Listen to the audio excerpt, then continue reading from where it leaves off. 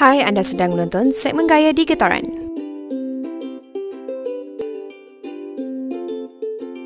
Tahukah anda rutin penjagaan kulit yang betul turut mempengaruhi kesan pada kulit kita?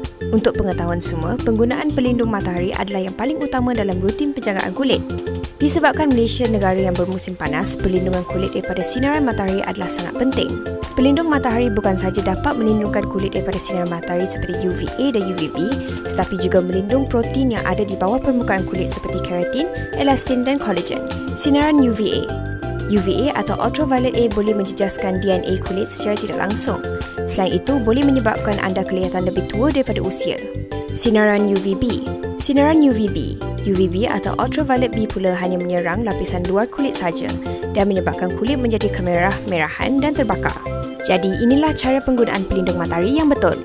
Jumlah pelindung matahari yang betul adalah 2 hingga 3 jari sebagai indikator atau lebih mengikut kesesuaian saiz muka. Kemudian sapukan produk ke atas permukaan muka termasuk telinga dan leher secara menyeluruh. Bagi bahagian badan pula, seperti lengan, kaki dan bahagian lain, sapukan produk mengikut kesesuaian.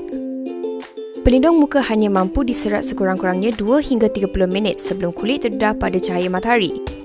Jangan lupa untuk mengaplikasi semula pelindung muka setiap 2 hingga 3 jam. Baik lelaki maupun perempuan, kedua-dua wajib amalkan penggunaan pelindung matahari dengan kerap agar dapat mengekalkan kulit sihat dan melindung sel-sel luaran serta dalaman.